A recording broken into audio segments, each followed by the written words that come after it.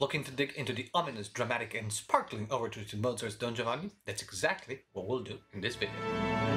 Hi, I'm Gianmaria Griglio, I'm a conductor and a composer, and welcome to this new episode of Conducting Pills, a series where we look into a classical piece or a part of it and outline its structure and phrasing, orchestration and harmony, with a bonus technical tips for conductors.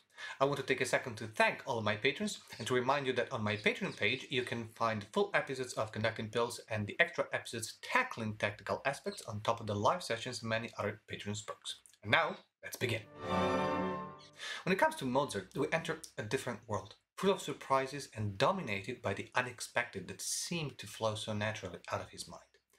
Way ahead of his own time, his operas are a marvel in the subtle depictions of the characters.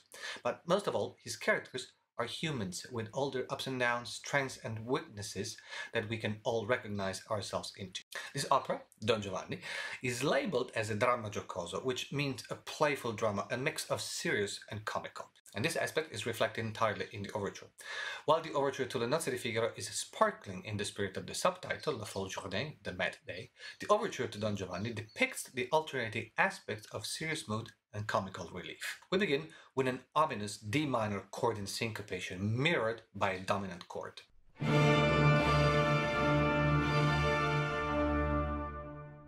The idea is extended. Flutes and clarinets move from D to A while the strings accompany with a dotted rhythm. The harmony, however, undergoes subtle changes, starting with the bass line moving down chromatically. Incidentally, we've seen the use of chromatism in Mozart in the episode dedicated to another Prague work, the Symphony K504, curiously, also in the key of D.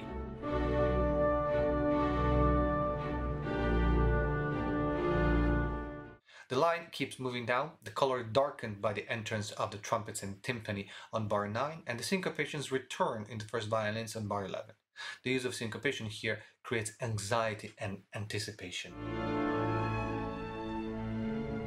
And notice the kind of creepy atmosphere that that G sharp creates, even more when it's underlined by a magmatic second violin's part.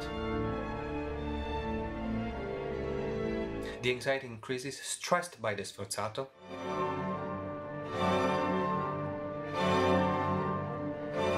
And the line becomes a succession of highs and lows with continuous dynamic contrasts. Notice also the change of register in the violins, digging deep into their lowest notes.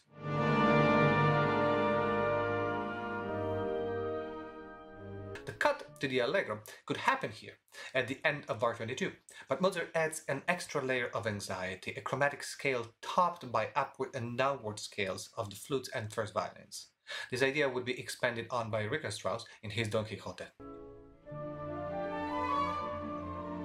Contrast, again, half a bar in crescendo, half in piano.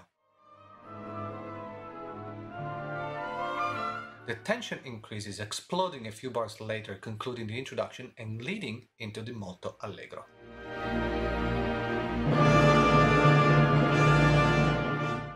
There are quite a few things to keep in mind here. The cut time and the tempo marking indicate a certain pace, not too slow. However, if you go too fast, some details are bound to be missed, like the difference in length between the bass line and everyone else in the second and fourth.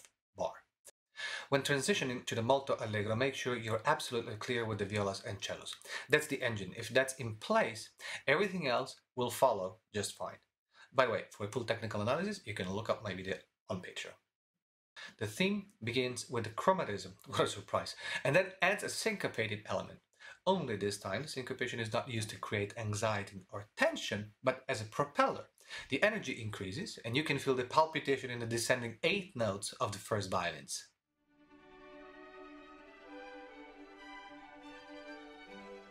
To which all winds plus timpani answer. The phrase is repeated with a brief flute counterline and we swiftly move into a vortex of notes started by the violins and shortly joined by everyone else.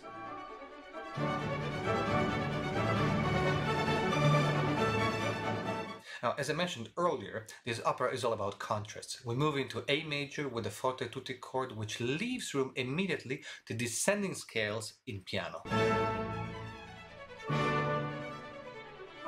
The model is repeated twice, and Mozart gives us a more gentle moment. Oboes and clarinets in thirds and octave apart, sustained by a pedal of horns and repeated notes of the violins. Only the violins, mind you, no violas or cellos, keeping everything very light. But wait, this moment lasts only five bars. A crescendo of the violins brings everyone back, precipitating everything in A minor in a forte dynamic. The phrase ends on the dominant. Is there a second theme coming, perhaps? More gentle and relaxed, or feminine if you wish? Not quite. What we are faced with are a series of questions and answers. A very assertive question in a very masculine tone while the answer is more feminine, played only by the violins and violas. The strong motive becomes the object of a musical game. First, it echoes in three different stages in the violins, in the couple oboe bassoon, and in the flutes.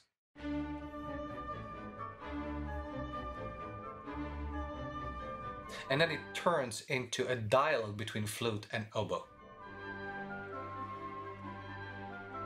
Landing eventually on the end of the first part, which by the way reuses that same whirling technique we've seen in bars 46 and following.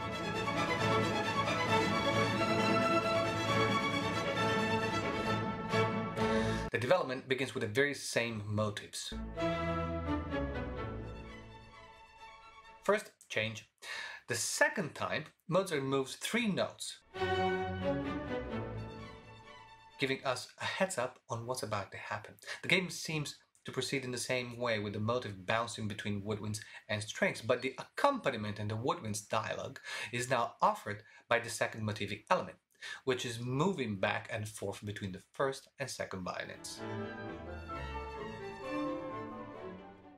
Mozart plays with the mind and ears of the audience with a cascade of aural inputs coming from everywhere. Surprise, the first theme reappears in G major. Briefly, everything is transformed in a modulation that leaves us suspended on an F major chord.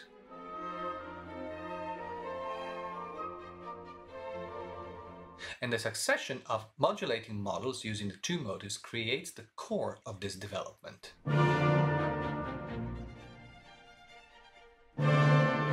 We're led back to an A pedal which concludes the development and eventually takes us back to the recapitulation. That's right, we're basically in a standard sonata form, including a slow introduction and a coda. The coda is where Mozart gives us another surprise. Normally, we would expect this kind of piece to end with fireworks, getting big audience applause after its final chord. However, Mozart here is experimenting, as we've seen right from the introduction. This overture is not just a separate piece meant to tell the audience that the show is about to begin. It's part of the opera. The action has already begun. The story has already started. And Mozart eases us into the next scene with a short coda in a piano dynamic, which is in fact simply a modulating bridge.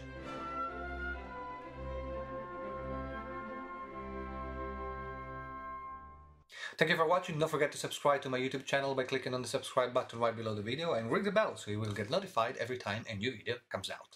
If you want to support the show monetarily, you can do so on my Patreon page and if you're interested in conducting technique, follow my Facebook group. All the links are in the description.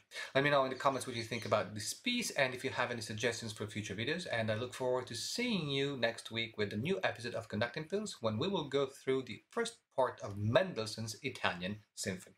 In the meanwhile, please continue to enjoy music and be well. Ciao! And move outwards, inwards for the sforzato and piano. Perfect for pitch registration.